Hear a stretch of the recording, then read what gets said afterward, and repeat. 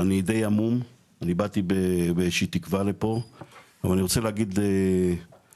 חשוב רגע רק שנבהיר, לא שמישהו לא יודע, מר מוסקוביץ' היקר, שפעיל בעוד כמה תהליכים וממנכ"ל את המו"פ, מגיע בגילו הלא צעיר, כאן לא רחוק, גברת אסרף, הוא מגיע ממש מפה, ממש פה, פה, ימינה, קדש ברנע.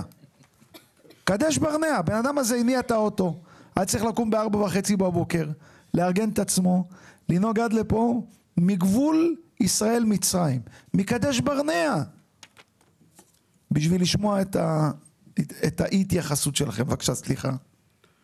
תודה רבה. יש מה שנקרא חוק יסוד הממשלה.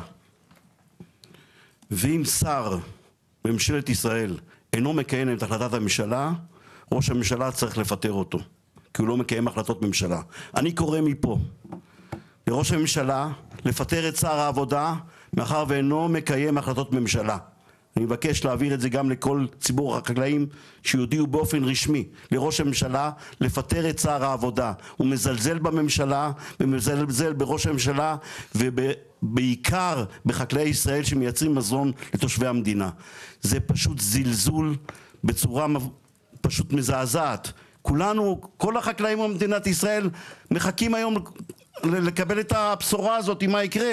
אתם מבינים איזה, אם, אם, הייתם מקבלים איזושהי החלטה, זה, איזה, שמן לגלגלי הייצור זה היה דוחף אה, אה, אה, לייצור המזונות של מדינת ישראל? מה קורה פה? זה פשוט ביזיון. בושה וחרפה, אני ממש מתבייש, זה מה שיש לי להגיד.